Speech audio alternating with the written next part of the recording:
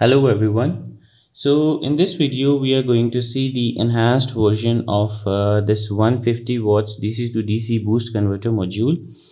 And uh, uh, if you are going to buy this module from the market so by default it can give you a peak of 150 watts and uh, voltage of uh, 32 volts or 35 volts. Uh, and the peak current is around 6 amperes. But uh, here in this enhanced version we are going to enhance the uh, output current that we can drive from this circuit. And as you can see I have used three MOSFETs over here. And these are IRF 3205 MOSFETs which are connected in parallel. And uh, the gate of these MOSFETs are actually connected to this uh, uh, circuit so that the pulses can be taken from this circuit. And the feedback is also given from this point through this yellow wire so that uh, the mo module or the circuit can continuously check out the output voltage and regulate it as uh, desired. Here we have also uh, upgraded the inductor because uh, previously the original inductor wire was uh, too thin for passage of high current. So we are expecting that this uh, circuit should give uh, up to 10 amperes or higher. And uh, this is the first version of the circuit. And uh, there are some upgrades that still needs to be done. Like this uh, rectifier over here that i'm using is a 20dl2c and uh, this rectifier is capable of uh, providing uh, 20 amperes continuous and uh, 30 amperes uh, while in pulsating mode.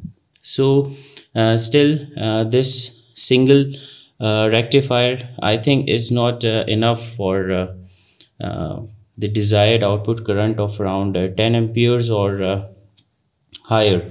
So uh, if we are going to add uh, two rectifiers here so this is going to uh, give us uh, further improved version of this circuit right?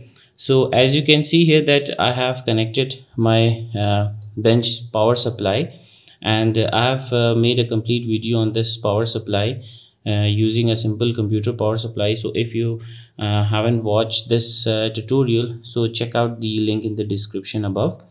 And here is the ATORCH uh, 185 watts uh, load tester. So we are going to uh, put a load on this circuit and we're going to see if this circuit is capable of uh, providing us uh, any uh, range of say 6 amperes or higher current. Uh, since there are some limitations in this circuit for example these wires are not meant to take the 6 amperes current. So there might be some issue while testing it. Uh, so I have to uh, keep the test within limits so that uh, uh any of the component might not just burn right so here's the closer version of this circuit. Here we can see that uh, the input voltage is provided at this point and through this inductor the input voltage is going to the drain of this these MOSFETs as well as the uh, rectifier over here right? I have joined the uh, anode of the uh, rectifier the first pin and the third pin. And the cathode is the output. So this is the output and uh, the feedback voltage that is this yellow wire is going back into this uh, module so that the voltage regulation should be there. Also the uh, this uh, white wire over here if you can see this white wire is uh, the gate uh, this is for the gate of these MOSFETs uh, which is from this module and the source of these MOSFETs are going back through this black wire into this module. This is the sense resistor which is sensing the current through these MOSFETs. And uh, there is a sense resistor on this module but uh, it is not uh, high enough or the power of this that uh, resistor is not high enough to handle the high current that, that we are expecting after the addition of these components on this uh, uh, boost converter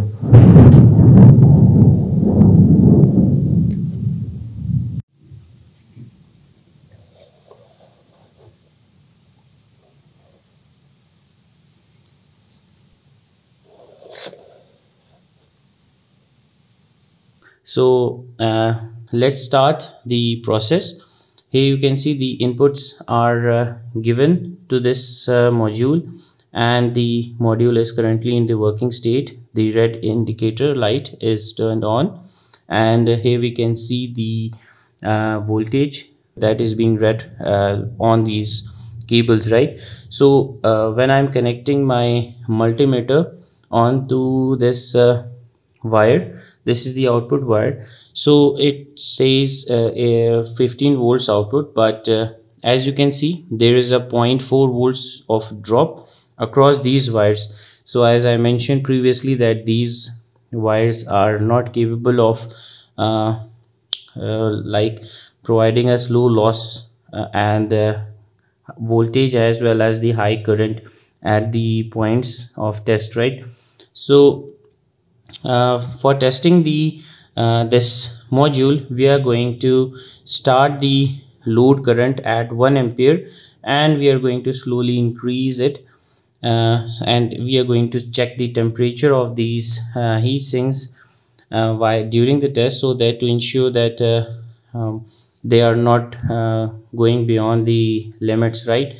Uh, i don't have any temperature sensor right now so i'm just going to uh, touch these heat sinks to ensure that uh, they are not too hot uh, so that we can stop the test at any phase of this test procedure right?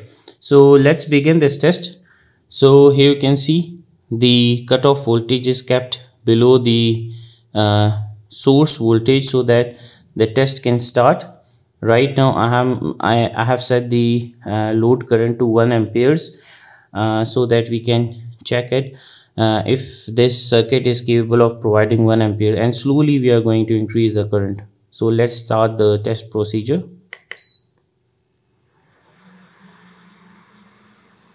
All right here you can see uh, this load is uh, working right now and we are getting uh, around 11.3 uh, watts from this circuit if I check the heat sinks so they are looking okay right now.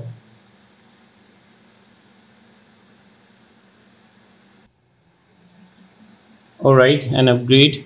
I have set the cutoff voltage to 9.9 .9 volts so that uh, the test procedure may not stop suddenly because uh, as we increase the current so uh, the voltage is going to drop slowly right? Uh, so for 1 ampere test looks fine. We are going to move ahead and increase the current to 2 amperes. Output power is 22 watts. Current is 2 amperes and uh, you can see source voltage has dropped to 11.1 volts now uh, I'm going to see if the temperature of the heat sinks increasing or not. Right now they are looking fine to me. Also this sense resistor is also uh, fine right now in terms of temperature. I'm not uh, depending upon the uh, sense resistor of this module because uh, we need a higher power uh, resistor over here right for sensing the current at the load. So the test looks fine to me. Temperature is not rising. And uh, that means this uh, module is working right now. Now we can increase the current to 3 amperes all right. So you can see the voltage has dropped to 10.9 volts and the power output power is 33 watts. Again checking the temperature of these heat sinks. And the resistor. One thing is to be mentioned here that uh, the first limitation upon uh, increasing the current as there is only one MOSFET under this heatsink right? So I can't just uh, continuously increase the current because uh, that uh, MOSFET uh, may just get fry.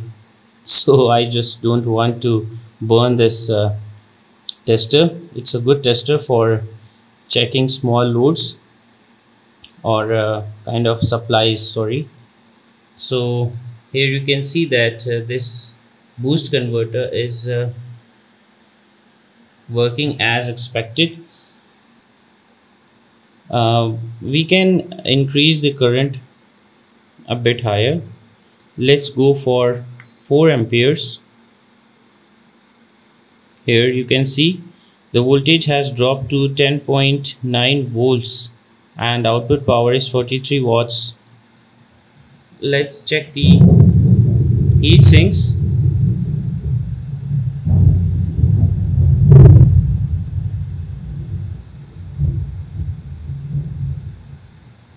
They look fine to me.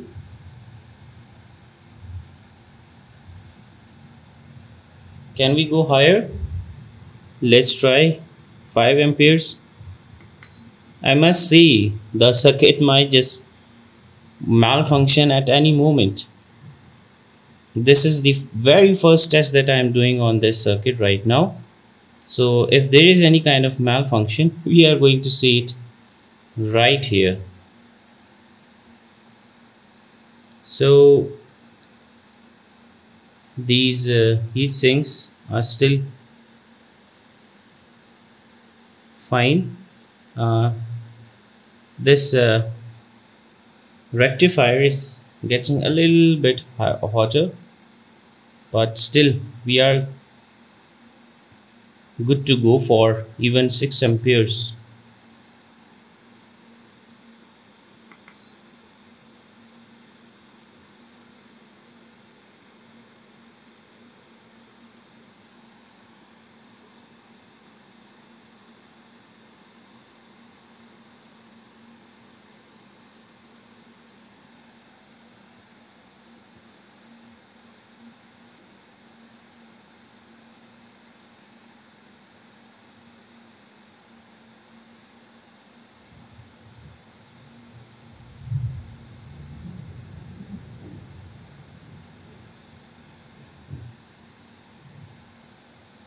the circuit look fine.